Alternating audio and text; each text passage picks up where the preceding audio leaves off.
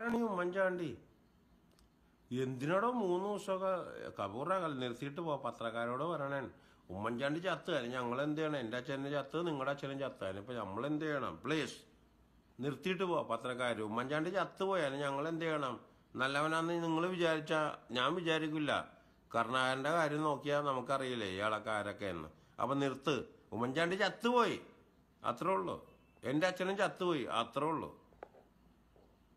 Hello friends എല്ലാവർക്കും നമസ്കാരം. കഴിഞ്ഞ ദിവസമായിരുന്നു കേരളക്കരയെ മുഴുവൻ സങ്കടത്തിലായിരുത്തി മുൻ മുഖ്യമന്ത്രി ഉമ്മൻചാണ്ടി മരിച്ചത്. എന്നാൽ ഉമ്മൻചാണ്ടിയുടെ മരണത്തിന് വളരെയധികം പേർ അനുശോചനം അറിയിച്ചിട്ടുണ്ട്. മലയാള സിനിമയിലെ അതോടൊപ്പം തന്നെ കേരള രാഷ്ട്രീയത്തിലെ അടക്കം പ്രമുഖർ ഈ ഒരു വിയോഗത്തിന് അല്ലെങ്കിൽ അനുശോചനം അറിയിച്ചിട്ടുണ്ടായിരുന്നു. എന്തൊക്കെയാണ് ഇപ്പോൾ വാർത്ത നേടുന്നത് വിനായ വിനായകൻ പറഞ്ഞ കുറച്ച് വാക്കുകളാണ്. ഫേസ്ബുക്ക് വഴി ലൈവ് വഴി വന്നതായിട്ടായിരുന്നു വിനായകൻ മുൻ മുഖ്യമന്ത്രി അധിക്ഷേപിച്ച് ഒരു വീഡിയോയിൽ പറഞ്ഞിരിക്കുന്നത്.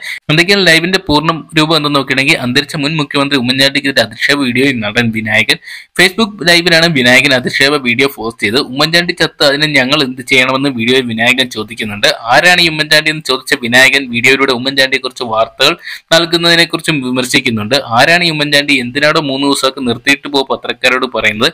ഉമ്മൻചാണ്ടി ചത്ത് അതിന് ഞങ്ങൾ എന്ത് ചെയ്യണം? എന്റെ അച്ഛന്റെയും എന്റെ അച്ഛനും ചത്തു നിങ്ങളുടെ അച്ഛനും ചത്തു. അതിനിപ്പോ ഞങ്ങൾ എന്ത് ചെയ്യണം എന്ന് വിനായകൻ ചോദിക്കുന്നു. നല്ലവനാണെന്ന് നിങ്ങൾ വിചാരിച്ചാൽ ഞാൻ വിചാരിക്കില്ല. കരുണാകരന്റെ കാര്യം നോക്കിയാൽ നമുക്കറിയില്ല. ഇയാൾ ആരൊക്കെ ഇയാൾ ആരൊക്കെയാണെന്ന്.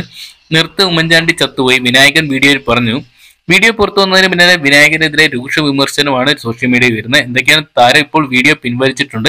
എന്തൊക്കെയാണ് നിമിഷ നേരം കൊണ്ട് തന്നെ സോഷ്യൽ മീഡിയ ഈ ഒരു വീഡിയോ തരംഗമായി മാറുന്ന കാഴ്ചയാണ് കാണാൻ സാധിക്കും എന്തൊക്കെയാണ് അദ്ദേഹത്തിന്റെ വിയോഗത്തിൽ നിരവധി ആൾക്കാർ അനുശോചനം അറിയിക്കും വിനായകന്റെ ഭാഗത്തു നിന്ന് ഇത്തരം ഒരു നടപടി എന്തൊക്കെയാണ് സോഷ്യൽ മീഡിയ തന്നെ ഞെട്ടിത്തെരിച്ചിരിക്കുകയാണ് എന്തൊക്കെയാണ് ഈ ഒരു വാർത്തയെക്കുറിച്ചാണ് നിങ്ങളുടെ അഭിപ്രായം? കമന്റ് ബോക്സിൽ പങ്കുവെക്കാം വീഡിയോ ഇഷ്ടപ്പെട്ടെങ്കിൽ ലൈക്കിനും ഷെയർ ചെയ്യാനും ചാനൽ സബ്സ്ക്രൈബ് ചെയ്യാനും മറക്കണ്ട.